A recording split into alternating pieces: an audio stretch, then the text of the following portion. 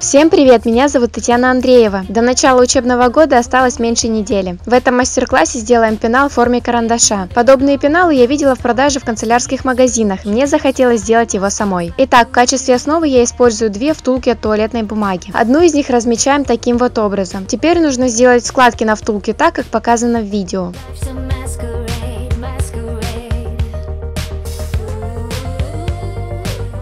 Этим способом мы четко разделяем поверхность цилиндрической детали на 8 секций. Далее разрезаем втулку вдоль по линиям сгиба до отмеченной линии. Отрезаем лишнюю длину.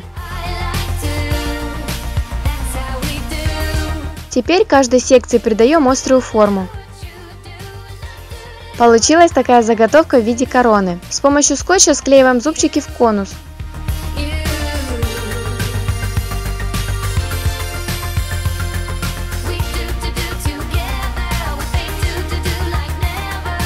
Получилась деталь, напоминающая заточенную сторону карандаша. Белой бумагой обклеиваем эту заготовку.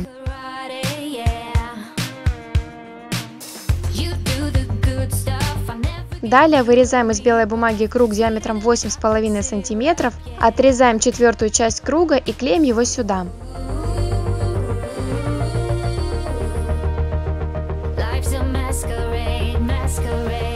Вот что получилось. Это основа верхней части карандаша. Красками раскрашиваем эту часть светло-коричневым цветом. Пусть высохнет. Тем временем ко второй втулке приклеиваем дно из картона.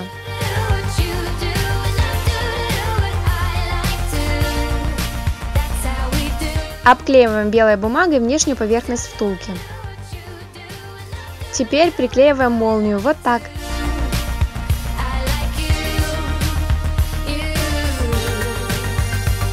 Далее обклеиваем поверхность полученной заготовки желтым фетром или кухонной вискозной салфеткой.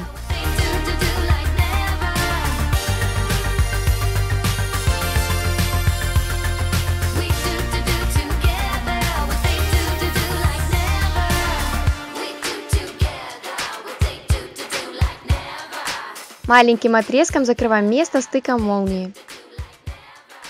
Розовым фетром или салфеткой обклеиваем нижнюю часть карандаша. Это имитация ластика. На границе ластика и карандаша клеим полоску голубого или зеленого фетра или салфетки.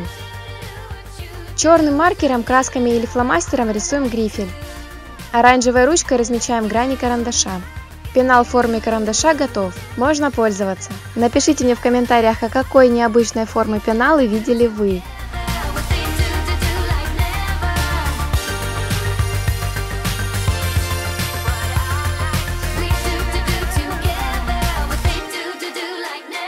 Всем пока!